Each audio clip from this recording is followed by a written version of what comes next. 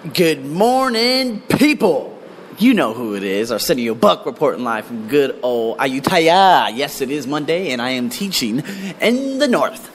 So, I was just watching a video this morning, and it was interesting because Michael Bernard Beckwith said, Success isn't measured by how much money you make, what kind of Louis Vuitton bags you could buy, such as here in Thailand, as they do. Um, it isn't based off what you have achieved. It isn't based off how many letters you have at the end of your name. It isn't based off how many shoe sales you could do as NBA players uh, do. It isn't based off anything that is basically part of the materialistic world. Success is basically what you leave behind, giving. See, that's why I love Tony Robbins. Because Tony Robbins, after all the money he received from, uh, from, from all his books, he literally donates it. And he donates 10% of what he makes all the time. It's about giving. Think about it, guys. Now, I live in Thailand, okay?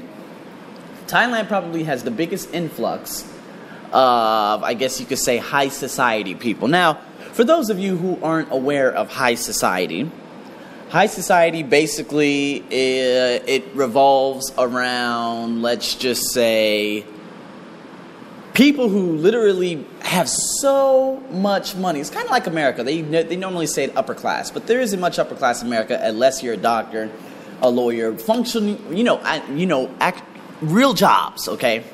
But high society here in Thailand revolves around the parents owning some sort of illegal business, them giving, you know, cutting it off to the police or whoever, the government or whatever, and them just getting by, you know, it, just doing that. So these students, I'm telling you, these students are damn near billionaires out here. Just because of the amount of money that mommy makes, right? So the thing is, no one gives here. And this is why this is the most rapidly deteriorating country on the planet because not no one gives to each other. We're not even talking basic cur- courtesy. Now, of course, Americans, yeah, I've seen a lot of Americans give other Americans money. Hell, my brother was the first one before I don't know what happened to him. But probably about 10 years ago, I remember we were standing in the line at 7-Eleven and this guy was looking through his looking through some change and my brother my brother was like, "I'm going to give this man a dollar." He went up to the man, gave him a dollar, and the man said, "God bless you." See, it's what you give. And so when you leave the body temple of domain, people are going to look at you just like Muhammad Ali. I've already mentioned this before, okay? And they're going to, you have to leave the legacy. So a lot of people say, what's success? Is success having a big house? Success doing this or that? No. Success is helping as many people as you possibly can. It could be by words, it could be on YouTube, giving uh, motivational advice, it could be workouts, it could be anything in the world of giving. Okay, because we could give every day. We're talking give a smile. You know, I saw some YouTube videos. One of my students showed me a YouTube video of uh, homeless men out there in America. And there was a particular kid, he was actually an actor, but he went up to this place and he started saying, Give me money and stuff. So everyone started giving him money. And this particular woman, security guard lady, uh, there was a oh, there was an older homeless guy who was really homeless, and there was a younger kid who was actually an actor, but they were giving money to the kid.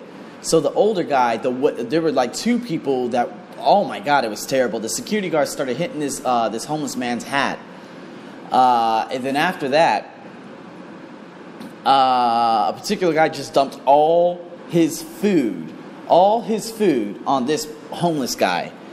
And I mean, it was just tragic. It was tragic what happened. And the guy started crying. It's crazy because the homeless guy went in, he went to go get washed up. And after that, he, uh, he ended up going into uh, get, get washed up, came back out.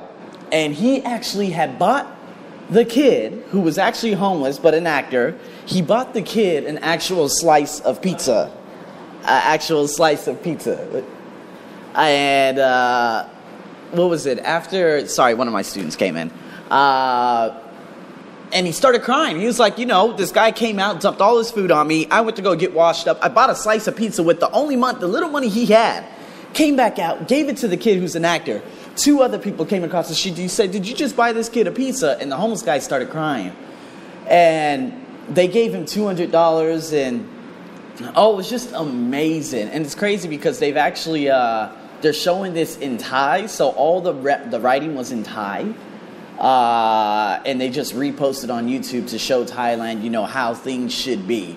You know, lo- another one was this guy giving another homeless guy a winning lottery ticket, and he started crying in the store. And oh, and, it, and, and it's crazy because a lot of people would say, well, money's just a code. You can't just give a homeless guy money. You have to change the mind first. See, if I'm going to do something on YouTube like that, you know, as far as giving money and whatnot, and seeing how grateful some homeless people are, I would also give them a book. I would give them a book and say, listen, I don't know what exactly is going on in your head, but if you read this, maybe this could give you some sort of guidance. And that's what I would do. So, uh, with that being said, people, I got my students coming in now. So, uh, I'll let you guys. Uh, I'll let you guys uh, have a wonderful morning, afternoon, and evening from all over. I need to continue what I had already spoken about real soon. So, until then, guys, see you soon.